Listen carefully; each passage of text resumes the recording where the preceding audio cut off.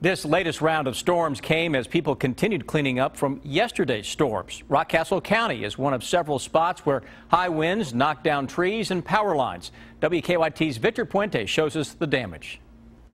Cleanup continues here in Rockcastle County. Trees like the ones behind me couldn't stand up to the heavy winds that blew through here yesterday. It wasn't just trees that came down. The sign outside of this hardware store was also taken down by those winds.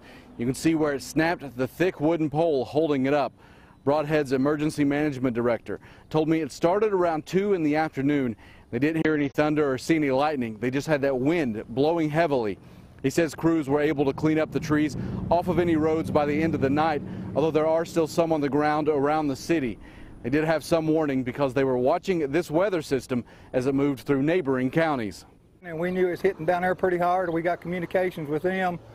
And so we, we was pretty well ready for it when it hit. We couldn't keep it from hitting, but after it hit, we were ready to, to respond to it. Rockcastle County's emergency management told me they had road crews out today cleaning up trees that had fallen near roads in the Brindle Ridge area, but he said any trees that had fallen directly onto those roads had already been cleaned up. In Rockcastle County, Victor Puente, WKYT. Trees on power lines caused some power outages in Rockcastle County, but those lines have since been repaired.